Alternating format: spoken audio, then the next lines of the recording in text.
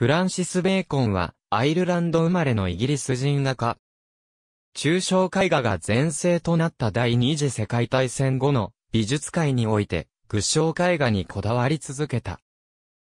20世紀最も重要な画家の一人とされ、現代美術に多大な影響を与えた。作品は大部分が激しくデフォルメされ、歪められ、あるいは大きな口を開けて叫ぶ奇怪な人間像であり、人間存在の根本にある不安を描き出したものと言われている。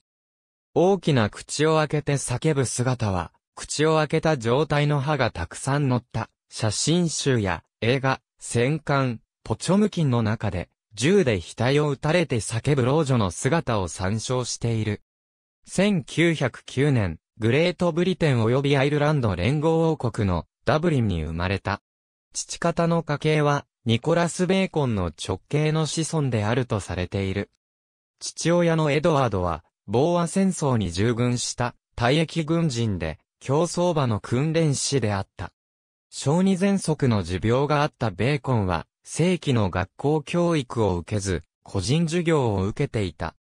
17歳の時、自宅で母の下着を身につけていたところを父親に見つかり、感動された。美術の専門教育は受けなかったが、1926年頃から水彩や素描を描き始めた。1927年から1928年までベルリン及びパリに滞在し、1929年からはロンドンで家具設計、室内装飾などの仕事を始めた。油絵を始めるのもこの頃である。ベーコンはゲイであったと言われ、当時のイギリスでは LGBT への偏見が強い中、ゲイであることを公表していた。1934年、ロンドンのサンダーランドハウスで初の個展を行う。しかし、その後ベーコンは1930年代から1940年代の自作の大部分を破棄してしまった。1944年から創作を再開し、1945年にはロンドンのルフェーブルギャラリーで、キリストタッケーズのための3つの終作を発表している。1949年には、東部シリーズの制作を始め、ロンドンのハノーバーガローで個展を開いている。1950年から、ロイヤルカレッジオブアートで、更新の指導にも当たった。1954年には、ベネツィアビエンナーレのイギリス館で展示しており、この頃から評価が定着する。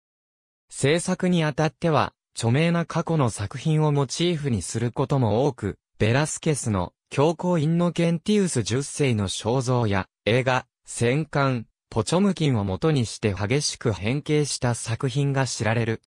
1978年、自らのアトリエとしたロンドン市内の雑居ビル一室で絵を描いていたところ、建物の下を車で通りかかったバリー・ジュールと知り合う。以降、彼とは親友であったと言われる。ベーコンは絵画を制作中に誰一人としてアトリエに足を踏み入れることを許さなかったと言われるが、唯一、ジュールだけはそれを許された。やがてジョンは、ベーコンのアトリエの鍵を預かるまでになったという。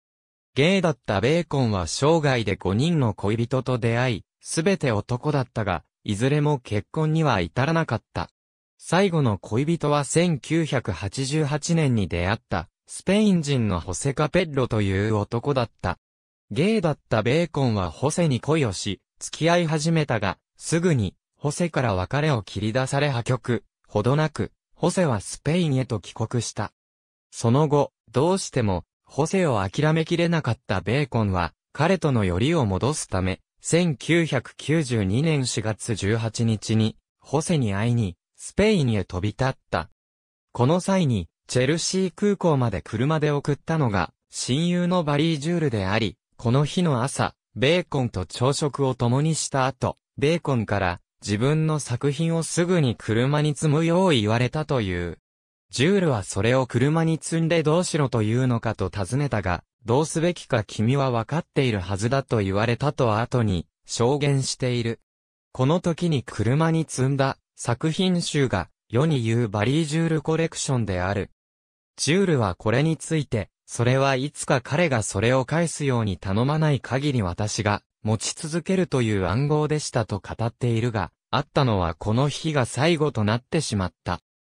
ジュールの車に乗って、ロンドン市内をドライブした後、彼に別れを告げ、その日のうちに、チェルシー空港からスペインへ飛び立ったベーコンだったが、10日後の1992年4月28日、スペインのマドリード市内の路上で、心臓発作により倒れているところを発見されそのまま死去したと言われる。ホセと会えたのかは分かっていない。ベーコンの半生は、1998年に、愛の悪魔、フランシス・ベーコンの歪んだ肖像として映画化された。ありがとうございます。